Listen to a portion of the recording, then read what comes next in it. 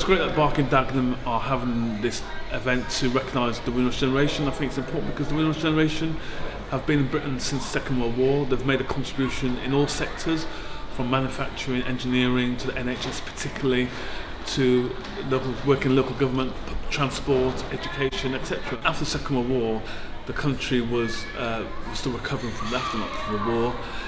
What I heard is a very dull country. Everyone was rationing, rationing books and I think the Caribbean energy, the colour brought life to Britain and it's benefited London particularly 70 years on.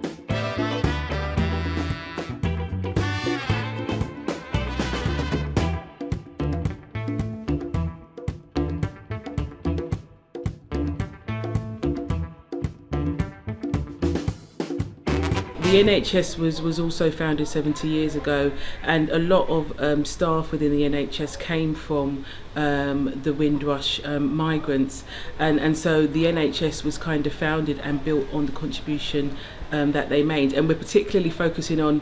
Um, today, the contributions made in the East End um, in terms of the um, nurses that worked in the NHS and the um, migrants that worked in the Ford plant.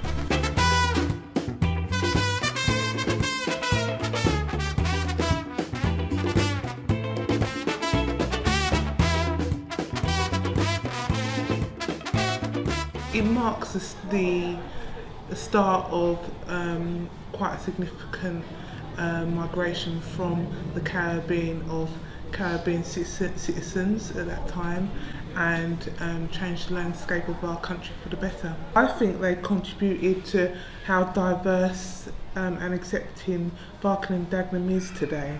Um, Barking and Dagenham is a very diverse place and during that time, during the early 60s in particular, um, a lot of um, those from the Windrush generation found work in the borough. So we, um, in that, that being the Ford's car plant, a time when the country was very hostile to um, uh, those um, Caribbean um, citizens, um, Barking and Dagenham opened its doors in terms of, you know, work for those, those citizens.